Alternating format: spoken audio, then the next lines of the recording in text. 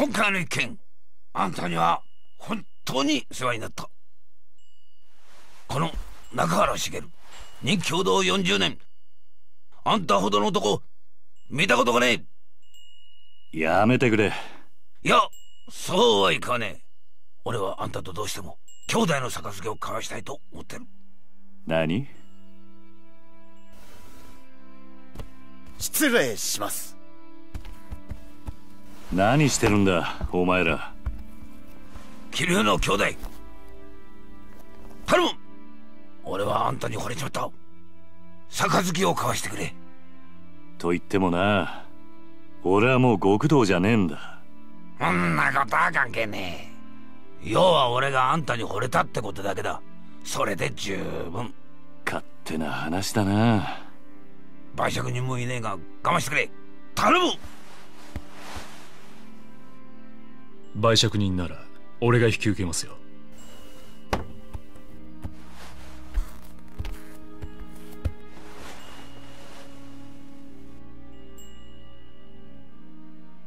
大悟。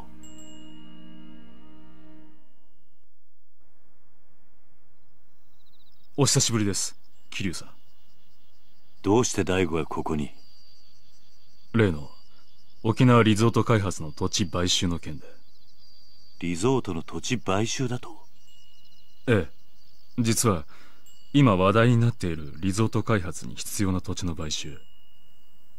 沖縄の東上会傘下の組織が中心となって進めていたことなんです。なんだと？まさかその東上会傘下の組織ってのが玉城組だってのか？そうです。玉城組は東上会の下部5次団体にあたる組織ですその玉城組が東上会の本家の許可もなく勝手にリゾート開発の土地買収を進めていたんです。どうして玉城組は土地の買収を？例のリゾート開発計画の立案者である鈴木大臣が土地の買収を玉城組に依頼したというのが事の発端です。あのリゾートは一定の広さの土地を揃えることができないと動かない計画なんです。うん。だからあの土地が必要なのか。はい。リゾートに必要な土地を確保するためにはどうしても現地に詳しい組織に任せる必要がありますからね。玉城組は格好の存在だったというわけです。その話は分かった。だがどうして大悟が沖縄に来る必要があったんだ？玉城組の土地買収のやり口は非常に強引なものでした。他人から土地の権利書を奪い取るようなことばかりしていましたからね。じゃあうちの先をさらったのも俺の土地の権利書が目的だったのか？おそらくそうでしょう。玉城は中原さんのお子さんを誘拐し身代として土地権利書を取引するつもりだったのでしょう。くそ玉城の野郎。手の込んだ真似しやがって。玉城組のような強引な土地買収を続ければいずれ大ごとになるのは明白です。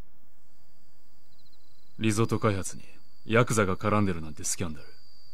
世間に知れたらリゾート開発はおろか基地拡大法案まで白紙に戻る可能性があります。それでタミヤさんは私のところに事態の収集を依頼してきたんです。そうなのか？世間で囁かれている通り基地拡大法案とリゾート開発計画はワンセットなんです。それはどういうことで？あの二つは持ちつ持たれつの関係なんですよ。どちらかが倒れたらうまくいかなくなる。リゾート開発がなくなれば基地拡大法案だけが残ってしまい住民感情から法案が通る可能性がなくなりますだからある意味タミヤさんにとってリゾートは自分の基地拡大法案の生命線なんです。なるほど。それでタミヤは自分の基地拡大法案にケチがつかないよう大悟に事態の収集を依頼したってわけか。ええそうです。私は今回の仲裁をこちらの東馬君に頼まれタミヤさんと一緒に沖縄までタミヤ防衛大臣の秘書をさせていただいています。東間翔陽と申します。ほう。その年で大臣先生の秘書さんとは立派なもんだな。いえいえ。私はタミヤ先生のご指示に従っているだけの男です。しかし土地の買収を止めてしまえばどのみちリゾート開発も進まなくなるんじゃないのか。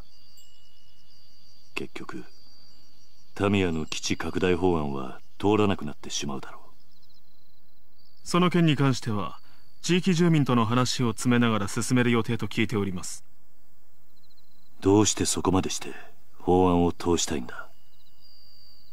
基地拡大法案を通せばリゾート開発よりも大きな仕事を成し遂げたことになり次期総理へ一気に近づくからです。なるほどな登場会としても本来なら下部組織の仕事を奪うようなことはしたくないんですがひとたびスキャンダルになってしまった場合後々警察にマークされてしまう可能性も高い。それだけは何としても避けたいと思い仲裁の役目を引き受けたわけです。そういうことだったのか。でもまさか桐生さんの施設が買収対象だったとは正直驚きましたよ。まあしかしこれでどっちにしてもあの土地を手放さなくてよくなったんだからよ。よかったじゃねえか。まあな。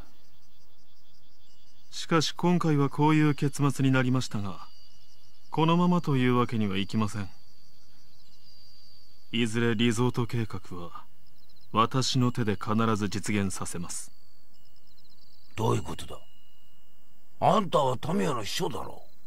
リゾートよりも基地拡大が重要なんじゃないのか。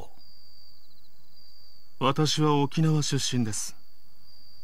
この辺境の地はこのままなら必ず廃れていってしまう。リゾート開発計画のように直接沖縄に金が落ちる仕組みを作らなければこの島はいつまでたっても発展していかない。私はタミヤ大臣の秘書ですが基地よりもむしろリゾートの方が沖縄には必要だと思っています。トーマさんしたっけかあんた。はい。あんた沖縄の人間なら分かってんだろう。別に沖縄の人間がそんなこと望んじゃいねえってことくらいよ。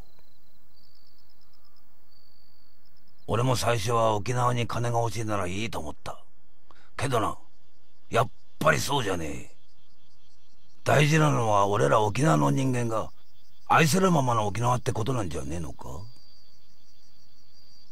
一度東京に行けば分かりますよ。いかに沖縄が日本にとって必要のない小さな島なのかってことが。私は何としても沖縄を豊かにしたい。そのためなら多少の犠牲は必要だと思っています。その犠牲が俺らの土地ってわけかええ。沖縄には海や砂浜は腐るほどあります。多少リゾートのために切り取ったところで問題はないはずだ。目的のためなら一人二人の犠牲は構わねえんだなんていかにも政治家さんの発想だと思うんだけどね。でもよそんな土地に命張って生きてる人間もいるんだぜ。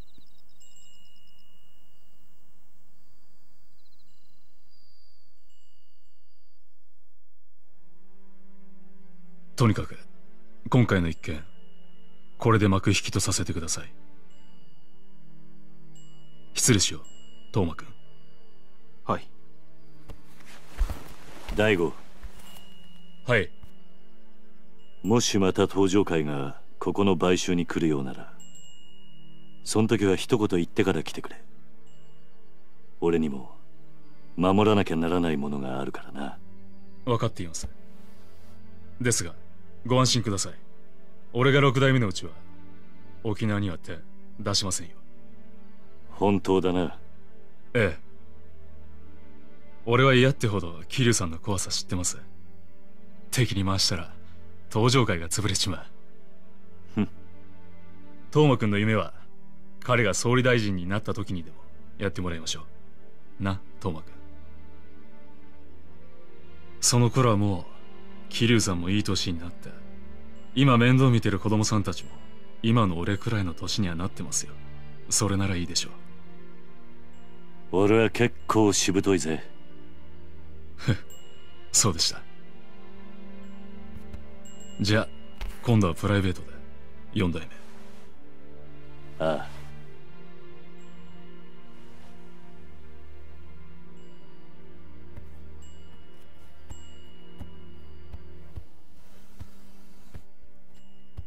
あのよ兄弟。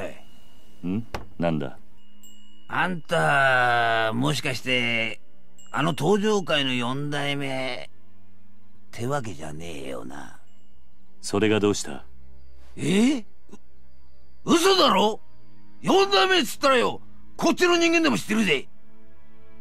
確か堂島のりってあああああんたひょっとして桐生？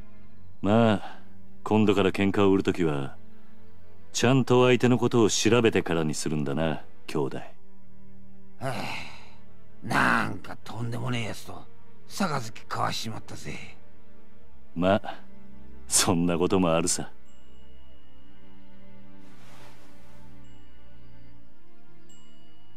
くは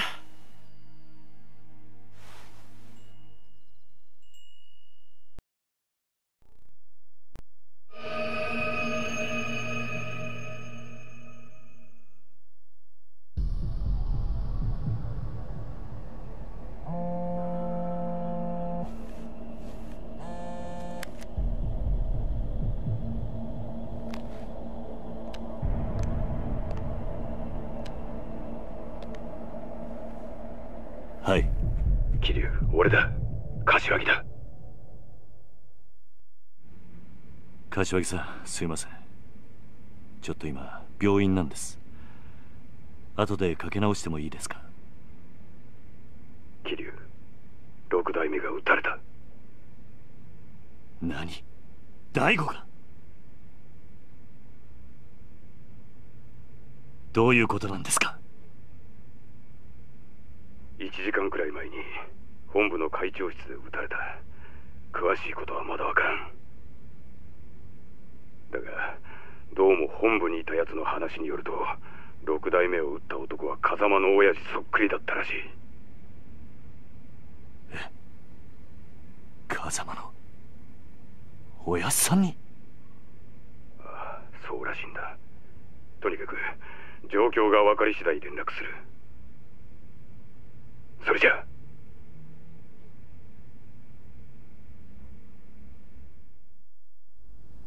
どうどうしたんですか？兄貴。どうやら東京でも登場界の六代目が撃たれたらしい。それって1年前兄貴とうちの親父が杯交わした時売借人してくれたあの。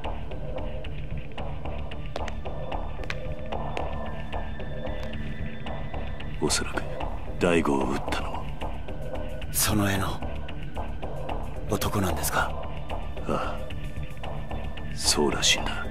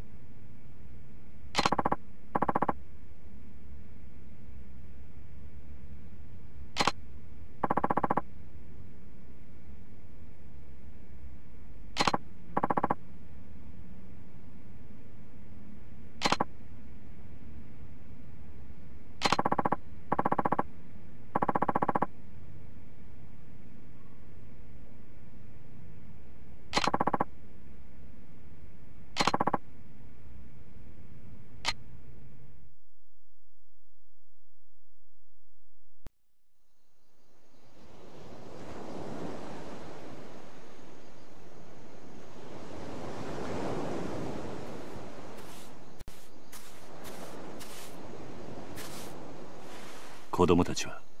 全員寝たみたい。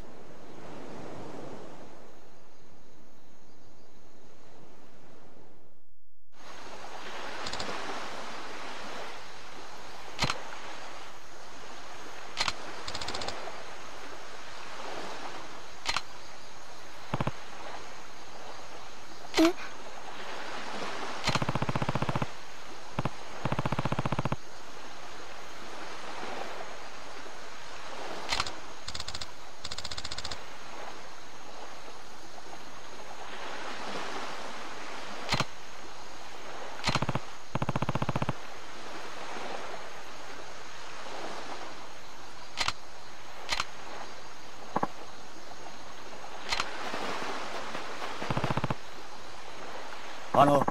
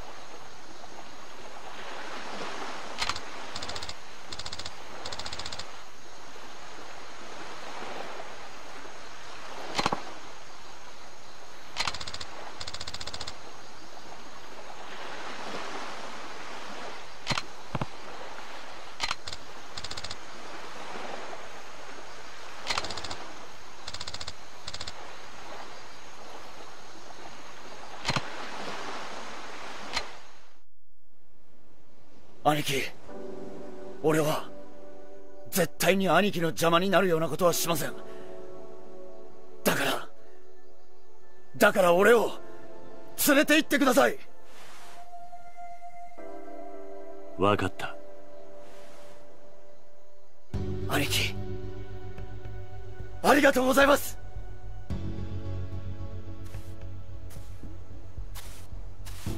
明日の夜沖縄を断とう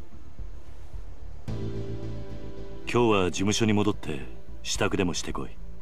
はい。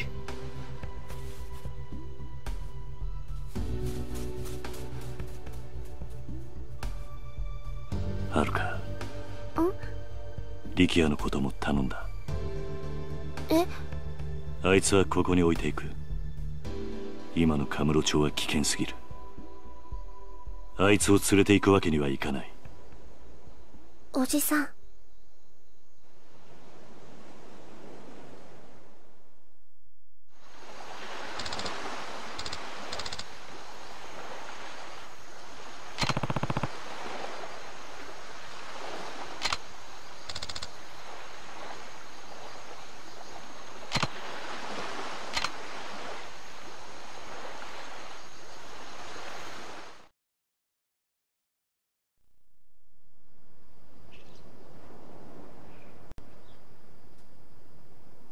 どうしたのおじさんその格好。実は今日から1週間くらい東京に行く。マジかよ。えー、いいな私も行きたい。そうだよ。一緒に連れてってよ。私も行きたい。みんなで行こうよ。聞いてくれ。旅行に行くわけじゃないんだ。どうしても東京に行ってやらなきゃならないことがあるんだ。俺が留守にする間朝顔には新しい友達に来てもらうことにした。誰？誰？誰？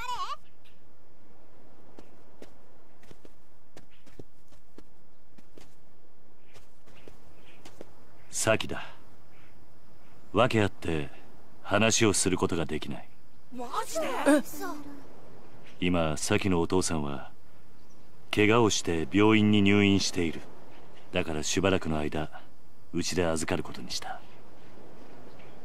どうだお前たち？仲良くできるか？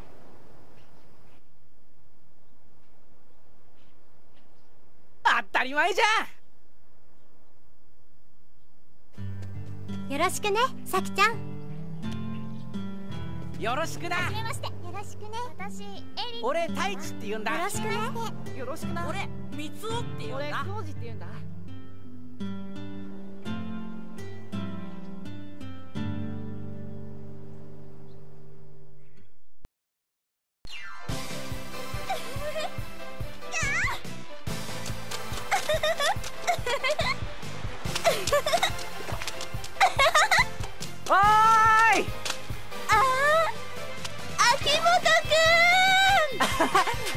くみずきちゃんやったなん秋元くんたらいやそれみずきちゃんみずきちゃん秋元みずきちゃん